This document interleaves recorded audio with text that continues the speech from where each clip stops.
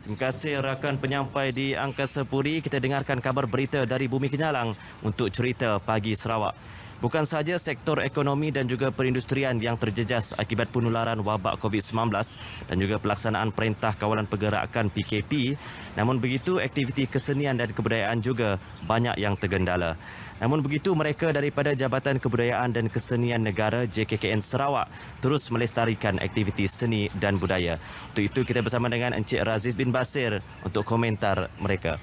Jadi hari ini kita nak bertanya mengenai uh, PKP untuk uh, aktiviti kesenian ini. Sebelum ini kita tahu JKKN Sarawak sibuk dengan kalender tahunan mereka.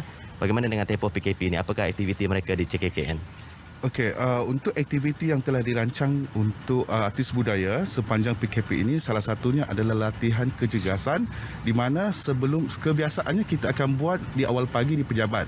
Tapi sepanjang PKP ini kita minta semua artis budaya mereka untuk membuat latihan di rumah masing-masing secara dalam talian.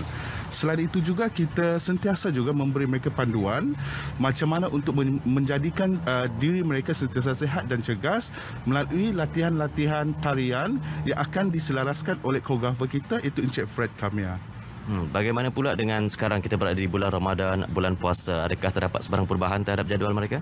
Okey, untuk bagi uh, untuk sepanjang bulan Ramadan, uh, KKJ ataupun artis budaya kita juga ada tugasan. Cuma untuk kali ini kita bagi mereka tugasan yang ringan-ringan saja. Antaranya adalah untuk jom belajar macam membuat busana ataupun bermain-main muzik-muzik. Selain itu juga ada juga aktiviti-aktiviti ringan seperti um, uh, membuat prop persembahan dan istilah, dan ada juga uh, sepanjang bulan Ramadan ini kita dah susun jadual mereka di mana dalam setiap minggu tu kita akan uh, uh, mengadakan sesi ujian bertulis bagi memastikan artis budaya ini sentiasa berilmu pengetahuan dalam bidang tarian khususnya. Hmm, kita lihat juga JKKN Sarawak aktif menggalakkan mereka di luar sana untuk terus bergiat dalam aktiviti seni melalui seni dalam talian. Apakah komen mengenai seni dalam talian ini dan bagaimana orang awam boleh menyertainya? Okey, untuk seni dalam talian itu adalah uh, salah satu idea yang yang tercetus oleh uh, Jabatan Kebudayaan dan Kesenian Negara Ibu Pejabat dan uh, sepatutnya uh, uh, aktiviti itu akan berakhir pada 24.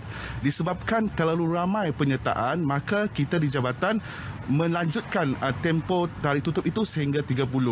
Jadi sekiranya mana-mana individu atau penggiat pencinta budaya yang betul-betul berminat untuk menyertai cabaran uh, seni dalam talian, bolehlah menghantar penyertaan ke alamat www.jkkn.gov.my.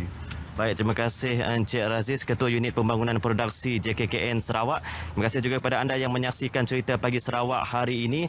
Jangan lupa duduk di rumah, stay at home. Selamat menjalani ibadah puasa.